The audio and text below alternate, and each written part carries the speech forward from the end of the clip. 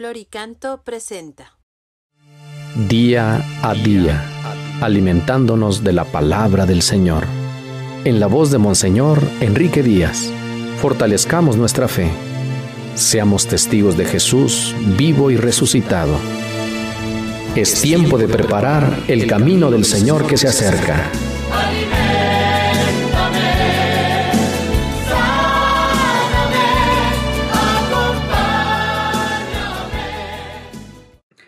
23 de diciembre, un niño nos nacerá y será llamado Dios Todopoderoso. Evangelio de San Lucas 1, 57 al 66. Por aquellos días le llegó a Isabel la hora de dar a luz y tuvo un hijo. Cuando sus vecinos y parientes se enteraron de que el Señor le había manifestado tan grande misericordia, se regocijaron con ella. A los ocho días fueron a circuncidar al niño y le querían poner Zacarías como su padre. Pero la madre se opuso diciéndoles, no, su nombre será Juan. Ellos le decían, pero si ninguno de tus parientes se llama así. Entonces le preguntaron por señas al padre cómo quería que se llamara el niño. Él pidió una tablilla y escribió, Juan es su nombre. Todos se quedaron extrañados en ese momento a Zacarías se le soltó la lengua, recobró el habla y empezó a bendecir a Dios. Un sentimiento de temor se apoderó de los vecinos y en toda la región montañosa de Judea se comentaba este suceso. Cuantos se enteraban de ello, se preguntaban impresionados, ¿qué va a hacer de este niño? Esto lo decían porque realmente la mano de Dios estaba con él. Palabra del Señor. Cuando escuchamos estas narraciones de los evangelios de la infancia de Jesús, descubrimos que están escritas al estilo de la sabiduría y tradiciones hebreas. Buscan manifestar la grandeza no solo del precursor, sino del mismo Mesías, a quien tiene la misión de preparar el camino. Cada uno de los signos que encontramos en esta narración nos lleva a profundas consideraciones que nos hacen descubrir la mano de Dios y su plan de salvación. No podemos ignorar que son hechos que recogen las profecías y los vaticinios antiguos.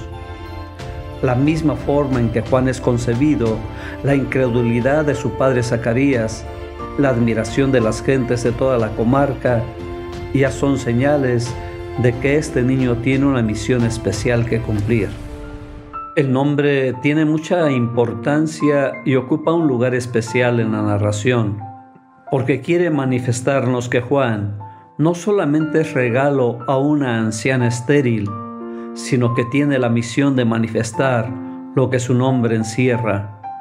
Dios es favorable, Dios tiene misericordia, Dios salva. Es el pregón que proclamará Juan el Bautista la presencia de Dios en medio de los hombres.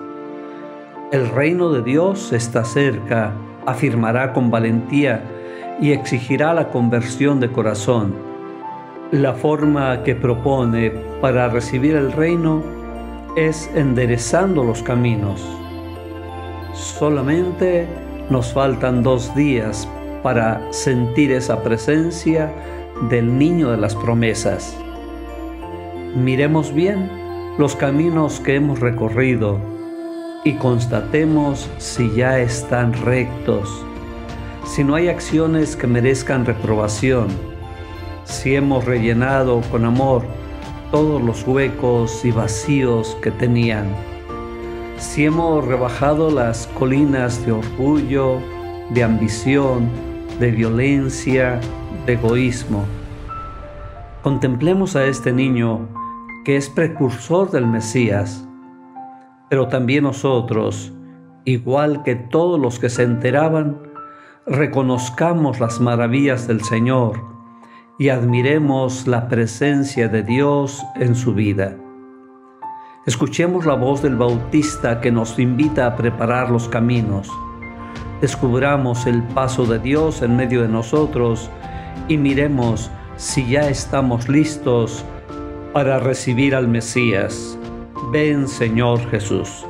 El Señor te bendiga en nombre del Padre y del Hijo y del Espíritu Santo.